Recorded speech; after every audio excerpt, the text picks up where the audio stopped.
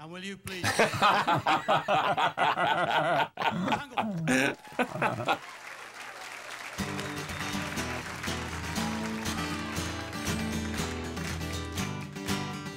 Look like you've got a really good tan. Yeah, good perm too. Yeah. Yeah, people always ask me if that's. I get asked a lot if uh, if I have, if my hair is really that curly. I just tell them, yeah, it comes out of the, came out of the box that way. So do like fans come up to you after the show and feel your hair? Yeah, occasionally. We should probably introduce ourselves so people know our voices. I am. This is Steve. No, that's Al singing. No, it's me talking. Oh, okay. What, Okay. you were talking while I was singing? I'm Joe, playing the fiddle and talking. You're a talented guy. I'm, I'm Al. That's me on the screen. I'm playing the bass. I'm singing. I'm talking. Look at me. I can juggle. I can dance. Sorry. We really did start with this song, didn't we? This was the actual, wasn't it? I think that's the way the, yeah The way it- evening actually began. You mean there could be things on this tape that are not the way we did them that night? I hope so. No. I think the the song order on the on the DVD here is actually truer to what actually went down in the concert. Because on the on the CD we did a fair bit of resequencing. Like we started with Uh, C C chords chord on the CD. yeah, which wasn't the first song uh, any of the nights that we that we actually recorded. No, it's true. Although Ashton loves that. He thinks it's a good way to start. Yeah. Yeah. Have we introduced Ashton? Uh, we haven't. Uh, if you get a, a shot of the base at any point during this, you'll see a couple of little dimples in the top of it. Uh, Ashton uh, put those in it. Ashton is my two-year-old. I love him so much that I didn't kill him for damaging my base. Does he have dimples too?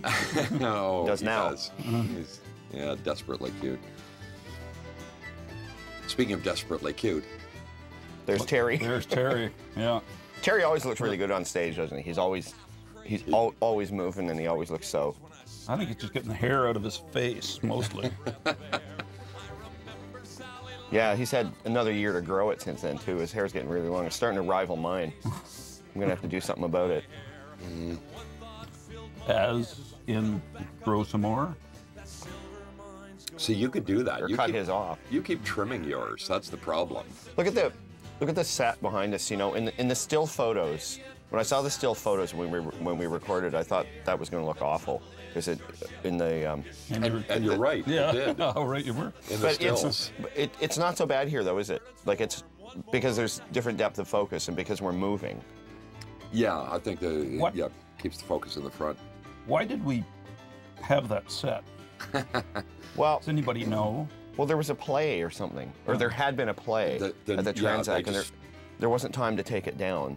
And there really isn't any at the Transact. There really isn't any kind of curtaining or anything behind it. It was I it was going to be either that or just a bare wall. And given that, I think there were. It was a while ago. I just forget, but I think there was there was some kind of time constraint issue, so we decided to use the set and just try and um, just try and make it work. It, wor- but I, I think it works a lot better in here than I, than certainly than it did in the still photos. Because in the still photos, it just looked cluttery.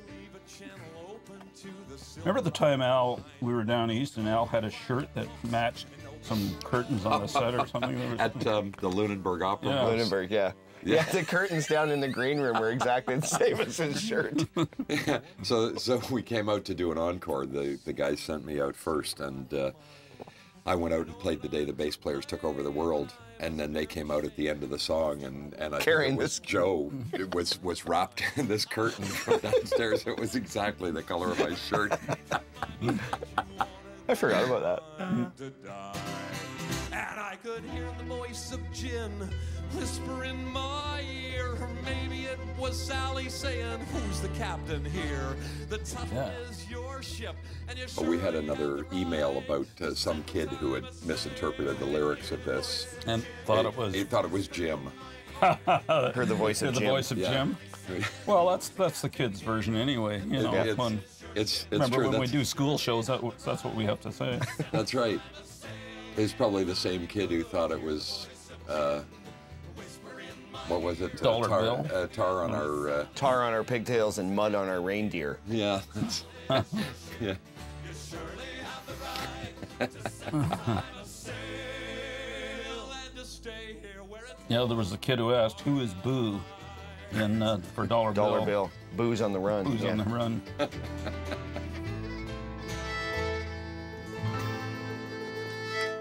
oh, dramatic ending.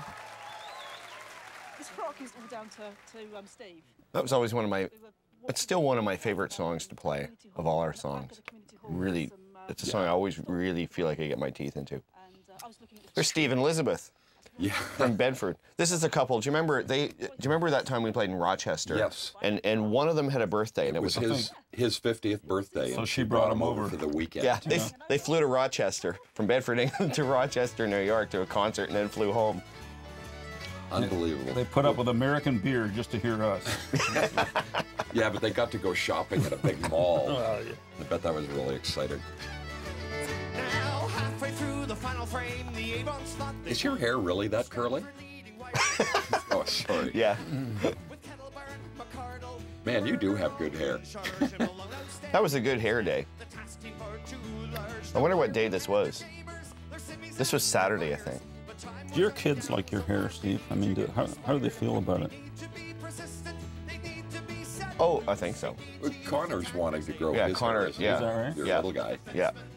Like, are you going to be disappointed if they don't grow their hair? Well, I'm going to try not to have those kinds of expectations. You short-haired weirdo. Why don't you go get a hair grow?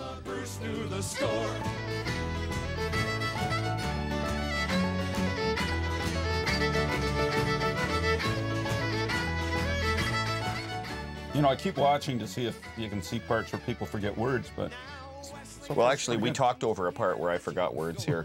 Because I, I, he used to be, uh, in the first verse, they need to be persistent, they need to be set loose, they need to use the tactics they perfected on the Bruce. I sang, they need to use the captain they perfected on the Bruce. oh, Yeah. On one of the nights, anyway. Look at Terry! Having a cuddle. he doesn't. Yeah. See, that's a that's a move that's completely gone from the show. now, That's I- that's that's I right. Miss it. Yeah. I miss the the back rub. You know. And the sleep. yeah. Wanted to show them the boys from the Bruce knew the score.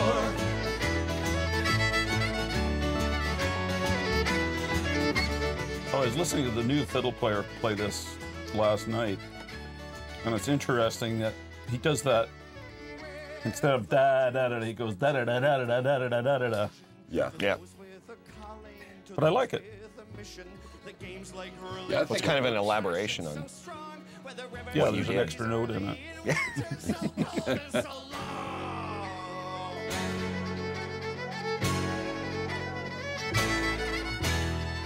They're Led Zeppelin power chords there.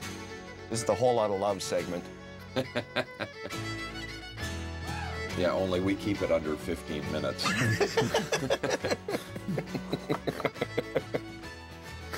Why? Because they could.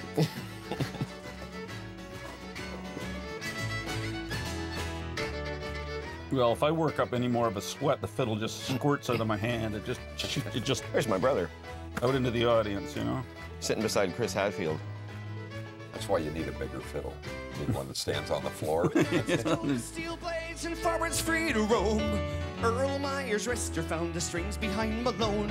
Then Billy Bean flew through the air as a tying shot was fired. But Mabel, that was nothing to the scene that next transpired. Throwing off reserve. Ashley screamed the battle cry and Simmy led the surge. He the Just in case he was forgetting the words, you thought you'd help. Oh, a good boot shot. to say the defensemen were steady. It's in time and everything. That's good, Al. You Oh, can I do that. You can was do that. probably done in the studio. Yeah, yeah. Fix it in the mix. on for more. They wanted to show them the boys knew the score. The defensemen were steady, the wings they played it wide. They charged as one into the. I remember where we did the, musical arrangement for this song. It was in J.C. Bedford's living room in England. Where that right? That's the first time Rob showed me the song. It was. It must have been the first time we were ever over there. And he said, "Here, I want to show you this." And Well, he had showed it to me sometime before, and I actually had a different fiddle part all worked out, and then I forgot it.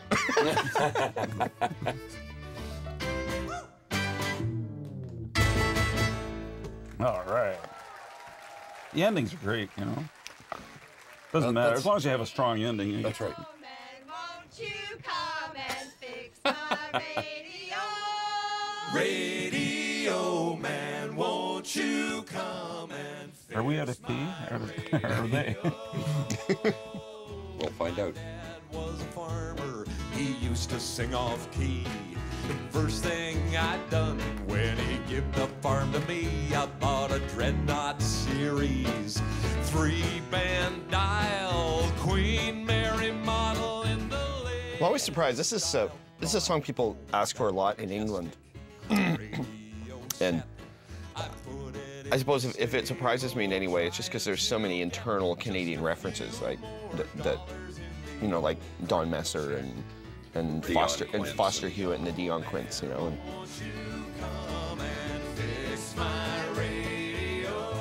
Now, do we ever get, you know, farmer kind of people coming up to us and saying, "Oh yeah, I had a radio in my barn"? I, yeah. not yet, or not not me anyway. No, I, I yeah. Um, I'm But they trying all do, Where I we mean- were, yeah, where somebody, somebody said that, that she had lived on a dairy farm and, and they had a had a radio in the barn Well, the- all the time. Well, the guy up the road from from uh, mom and dad's who has had dairy quota forever, he always has a radio on. Now I don't think he leaves it on all night, but he leaves it on. Um,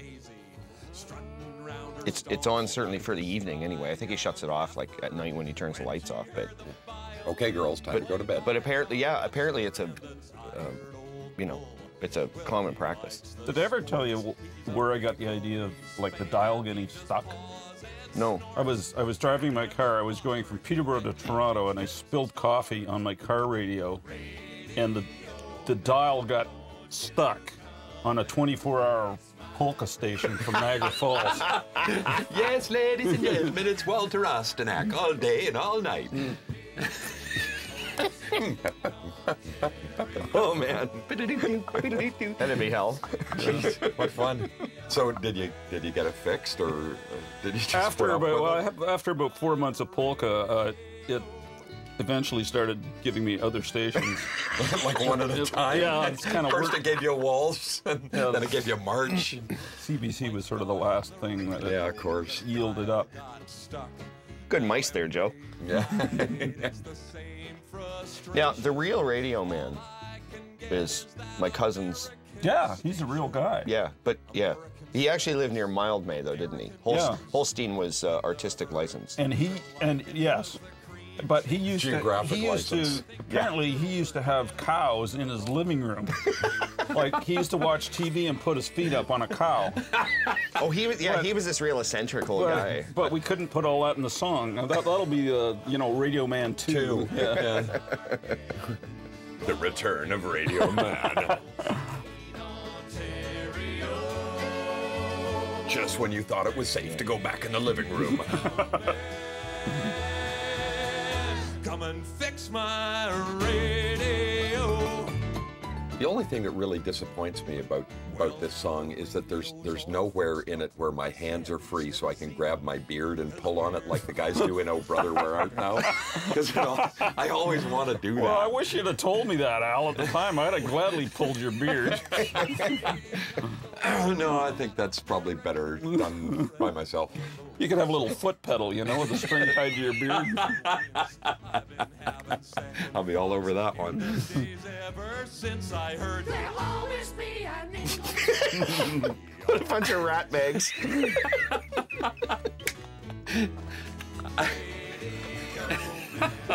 It's funny that has that has become considerably sweeter over over time.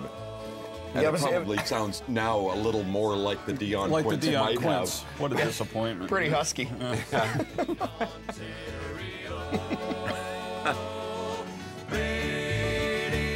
See, Al, I, I love the way you sing with such passion, even when it's something totally silly. Got to throw yourself into it. Watch Brian. He's got he's got that real sort of backwoods bounce to him there. Yep, behind the piano. Yeah. Brian's really visual for a piano player, isn't he? Yeah, he's really, true. Yeah. He's, yeah. he's so intense. He's really into it.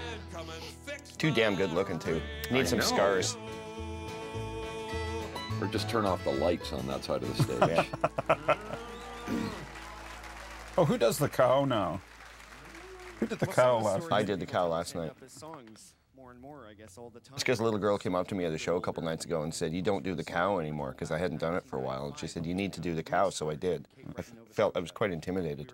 yeah, that's that came directly from the Brooks family. Yeah. And, Oh, uh, is that well? yeah, This young couple that is seems only fair. I mean, if they'll travel thousands of kilometers to come to see us in Sault Ste. Marie and Ithaca, New York. You don't do the cow. Yeah, you do it. So when there's a big North Atlantic gale, they get all of it.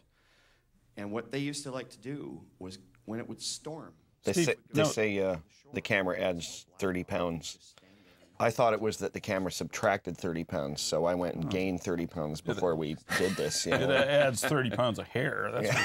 resonating with the, I wonder what your hair actually does weigh. until one night, when they were What, dancing in the His? Like, like, would you feel lightheaded if you got a haircut? You know. No, but he'd lose all his strength. He wouldn't be he able to pick up any chocolate. Yeah, he wouldn't be able to. Wouldn't be able to pull the theater down by a pillar or you know.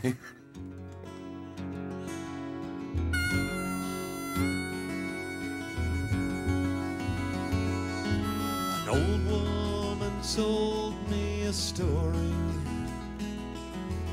This is a, a, a as the, the rhythm guitarist of the band. This is one of my favorite songs to do because I actually get to play something besides waka waka waka waka waka all. Wank, I actually, wank, wank. I actually get to play a part. I thought you were supposed to play Wonka Wonka Wonka. Well, you usually Just it's came not out here. that way. Look, it looks like I'm faking it, but I'm not. I'm actually playing it. No, we replaced all your parts. Oh, We brought in Dave McIsaac.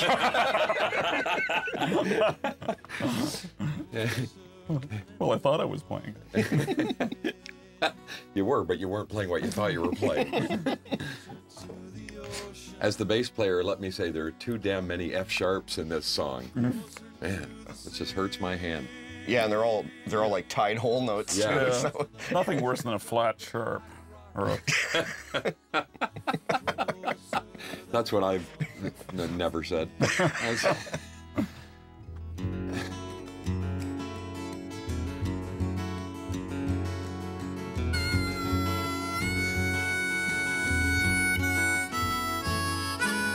She was a worker at the fish plant. After we mix this, you know, Paul Mills was saying to me, you know, he, he says, in my studio, I've spent thousands and thousands of dollars on microphones and thousands and thousands of dollars on preamps. And he says, look at the sound we got out of be- Beta Beta 58s 58s. and going straight into the Neve preamps out in the truck. And he said, you know, like, yeah. like it's a, it's a, it's a really nice crisp vocal sound from a, this is engineer talk. yeah. but uh, he was he was quite surprised. And that's and uh, the reason we did it is because that's what Danny Greenspoon, who owned the truck, said. That's what he recommended. Is that right? Yeah, Well, and probably good for us because that's the kind of mics that we use all the, kind the of time. mics we're used to using. Yeah, I know. If you got into those big, large diaphragm condenser mics, you wouldn't know what to do. Plus, they No. block out all our faces. Yeah, and they well, intimidate- it's, that might not be you so too, bad. you know. Yeah. Would hide a lot of hair. yeah. my my best feature.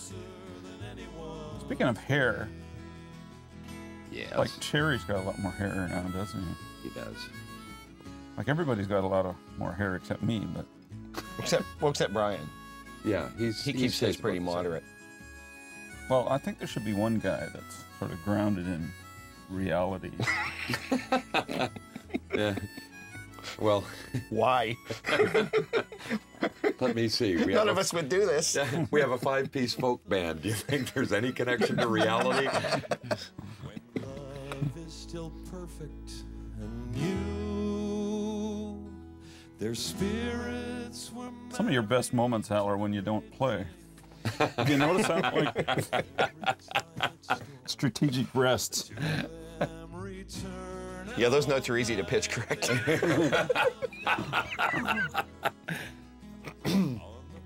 A woman in England once told me that. She she said uh, she said she, what she really liked about my playing was when I was waiting to play. I wasn't quite sure how to take that. but The music is in the spaces Yeah. between Yes. the notes. yeah, yes, right. art. Well, art is knowing what to leave out. And uh, if less is more, then None is best. None is everything. None is all. None is all. How did you hear that? You stopped playing, and it was really good. that's right. Well, and those stopped- guys kept playing. Yeah, so we did our little doodle doodle doodle doodle. He puts his arms around her, my love lie close to me. I love thinking of this beautiful bucolic song about you know nature and and that that and you you wrote this like in, In a high rise. 50, 50 floors up. didn't you? Yeah. Closer, closer, closer. But actually, as I was writing this song, a very similar event was taking place in Peggy's Cove, Yeah, that was the day that that uh, that and co- I didn't know it. yeah a guy got swept off the rock in Peggy's Cove. It was that same day. Yeah. Oh, yes, I've got a wonderful story about the violin. Hey Martha. And, uh, uh, when he was just a little wee fella, about, I would say two and a half, I got him a little violin about this long. It was metal. And of course, at that time, I used to play for square dancing. And my father did the calling. And of course, Did your mom play down on her arm too? so I got him a No, but my grandpa did. Yeah. Yeah. would always ask, would A lot I of the old timers did. play the violin? Just to see him run. He'd run for to get Did it come out of like playing like sitting? It was about this long. Well, yeah, like if you've been chopping trees all day, You don't want to stand you didn't up want there. to hold the thing up under your chin all night. No. And they used to play till, you know, dawn. So, Square dance wasn't really worthwhile unless you played till sunup. Yeah. Beware of the insane fire.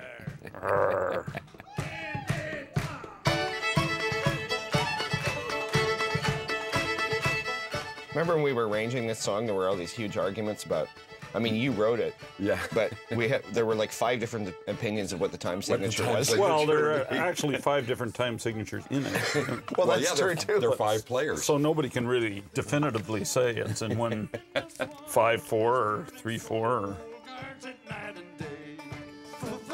I remember getting in an argument with Paul Paul Mills uh, when we were recording this. Uh, no, actually, after we recorded it, about which was the downbeat and which was the pickup beat. it's all upbeat. Because Rob, this, this is on Agnes, right? yeah. Yeah, Yeah, and Rob played. I I asked Rob, Rob, well, so how do you count it? And he says,